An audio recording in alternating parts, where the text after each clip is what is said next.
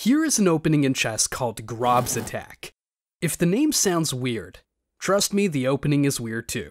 White plays g4, black pushes his pawn to the center and targets your pawn with the bishop. If this sounds bad because the opponent is establishing the center and developing his pieces, don't worry, it gets worse. First step, do not defend. Because what are you, human? Instead, put the bishop on g2. Opponent takes the free pawn and accepts the gambit. You then push on c4. Black cannot take because then you take this other pawn and then take the rook. So instead, he protects his pawn and then an exchange happens. According to Stockfish, you are losing this game 100% of the time, but according to Bobby Fischer, you are winning this game.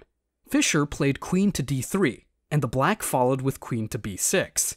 You exchange pieces, and then you take your pawn back.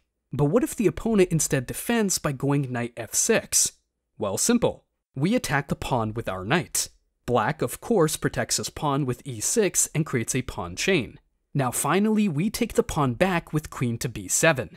Congratulations! All that work for a minus 1.4 advantage according to Stockfish. But in the database, 50% of games with this opening have actually won.